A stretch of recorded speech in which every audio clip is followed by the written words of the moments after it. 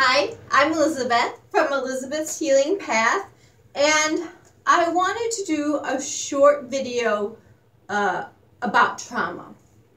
So, this week I've done my sexual harassment training for teaching uh, that's required ever so often to do an online course and take a quiz. And lucky for me, because I also teach this information in the ethics course, I have a, a better understanding of it more and more. I, I appreciate adding that depth to my understanding of it. Also, every two years, massage therapists have to uh, take ethics training, which can be done online. Uh, my choice is this book, Ethics of Touch, that we use uh, in the where, the where I teach. You can do classes from this book. So you re I reread the chapter about working with clients with trauma. It's, and so I want to do a video video about that because not many people think about coming into a massage session and understanding that trauma could affect how you're experiencing massage. First, I'll say that having a traumatic event, and this could be something that you experienced as a kid and something that would not be traumatic to you now, it could have been traumatic to you as a child because I tend to judge my own experiences of trauma within my body, but we have these trauma responses that have physical ramifications, right? Aches and pains, fatigue, um, so there's muscle pain, there's all these physical symptoms that can happen from trauma. And this can be emotional or physical trauma. It doesn't just have to be physical trauma. To share a part of my story, when I was in grade school, I was experiencing bullying. And right around that time, a symptom that I experienced is I wound up getting depression. Now, these trauma responses can stick with us for a really long time if we don't work through the feelings that we're exposing. They don't just disappear. We can numb them, but that's not healing them.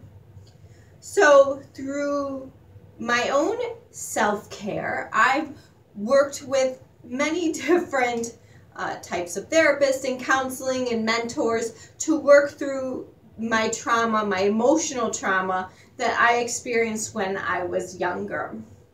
And then something happened to me three, four years ago that um, I didn't realize that it affected me as deeply as it did. Now, and I judged myself. Why am I having these responses? It wasn't that bad an event. Something had happened to me where emotionally I was going through so much trauma and I was I was teaching at that time and I was reading, you know, going over the chapter and I'm going over PTSD symptoms and I go, "Holy cow, it's turn it's turned into PTSD."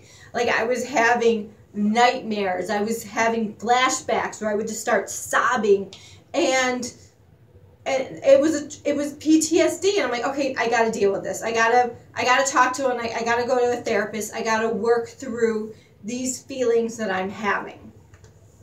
So as a therapist, one in six clients who comes to see me could have experienced trauma. One in six people have experienced some kind of trauma within their life. Um, so one in six people could come into my room and have trauma that's either disassociated or unresolved or maybe they're working through it. So I have to keep that in mind when I'm working on someone. So if someone doesn't want an area worked on, like I don't care if it's feet or glutes or stomach or even shoulders or face or head, whatever it is, I never want to question why. The client gives me a boundary, so I encourage my clients, please, please give me a boundary to follow. If you don't want something massaged, tell me. Um, if you want to keep on all of your clothes or your pants or your bra or a shirt, whatever it is, absolutely do that. It's all about your comfort level. I will never question or judge your decision or your boundary that you make in this room. So first I want to say absolutely I encourage my clients to have boundaries and to communicate with me um, their preferences and needs in a session. So we have clients may have physical symptoms such as muscle aches and pains or joint muscle pains or aches and so they're coming in for massage and not realizing it's not just a physical experience.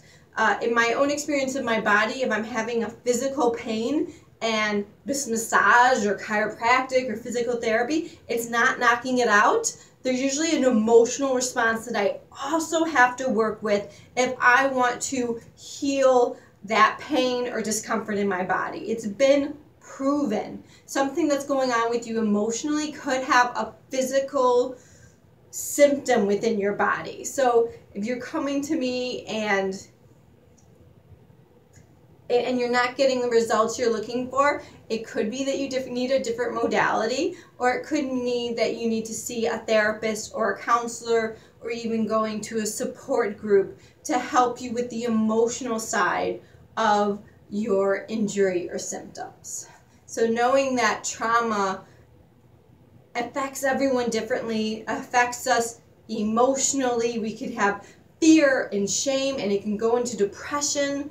We can pull out of our bodies so that we're disassociating and we don't you know we don't feel our pain as much but we also don't feel our joy and our happiness as well. You kind of you get numb out and all of those are signs of trauma. And please with my own experience please because i did it for so long please do not judge how you know so often we compare. Well it's it's not that big of a deal. I didn't have, I wasn't, you know, um, with PTSD. It can have happen with rape or uh, terrorist kidnappings, or it can happen if you were serving um, in the military. And so often we think of PTSD just as our, our veterans, but lots of things. A car accident can give you PTSD. There are so many things that give you PTSD. So please, no judging. And so often I'm like, I'm weak. I should be stronger than this. I should not be having this response.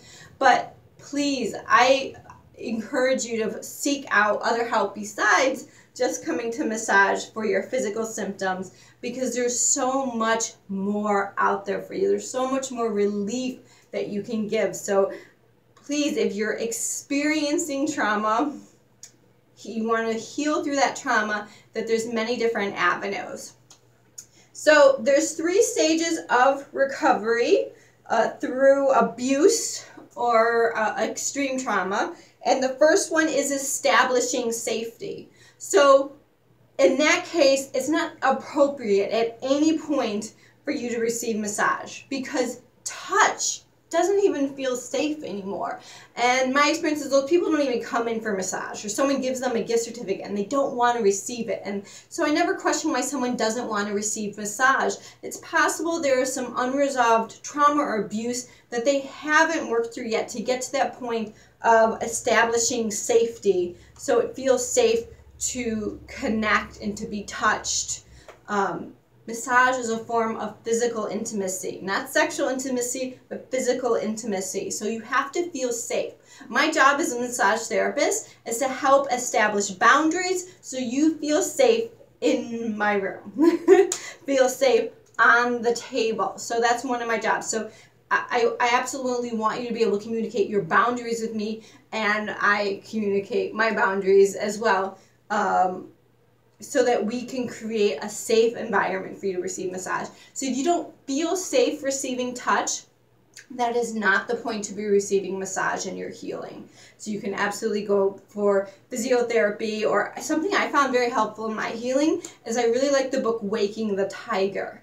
Now, even though there's some therapists who specialize in his techniques, but it's an audiobook. I, I listened to the audiobook twice. It's it was very powerful as I looked into my own disassociations within my body and bringing back in the felt sense. Um, but there's many different styles of, of, physiotherapy that I have worked with, and you got to find what which one resonates with you to recreate that safety again. So the next stage is remembrance and mourning. Uh, some massage therapists who have extensive training can help you in that stage, in that stage too. I prefer and feel more comfortable with my level of training at the moment of recording this if you wait to stage three, which is reconnection, reconnection with your body. So even uh, I do this with all my clients. If I see a muscle twitch, did you notice that? Um, I felt the tension release in this muscle. Did you feel that? What are you feeling? Tell me what you're feeling to reconnect you back into your body. So that's the stage that I accept clients back into my practice into touch. There are some massage therapists who have a lot more training with trauma that can help you in stage two, but wait to stage three. So even I work with uh, veterans. I give a, I, I have I work with many veterans, and I also give away massages to veterans every year as my way to give back to the community. But even then, I require that they have worked with a therapist through the, the trauma that they have experienced. And um, although not all veterans have PTSD, I've yet to meet a veteran who did not have some form of emotional trauma with with their service. So I want my clients to have already worked through those stages uh, before they come on the table because I don't want to re-traumatize anyone. That can honestly happen on the table. You can get re-traumatized if you were not ready to feel safe on the table with touch. So that's my experience. Like I said, Waking the Tiger, great book. See a therapist. Um, something that 2020 had and many, many things that had taken away from me uh, is away from all of us. And, and I want to, and this is a great time to say this because 2020, like they say, you know, one in six people have experienced trauma. I would say 100% of the people coming in my door right now have experienced some level of trauma from this year. Just not feeling safe and being able to control if you can go to work or if you might get sick or your financial stability creates an emotional trauma. I, in me in my experience right? So for me i think everyone coming in is experiencing emotional trauma but something 2020 also affected me is I was so looking forward to this uh, massage class. The World Massage Festival in 2020 was supposed to be in Indiana. And as you can imagine, it travels all over. I'm like, yes, it's close. I don't even need to get a hotel. It was, you know, I think just like an hour drive or something. I was so excited that there was a class on working with PTSD clients, especially with, um, with veterans there, and that didn't happen. But hopefully in 2021, I can finally take that class, and I'm hoping I don't have to go down to Florida to take it where the teacher is located.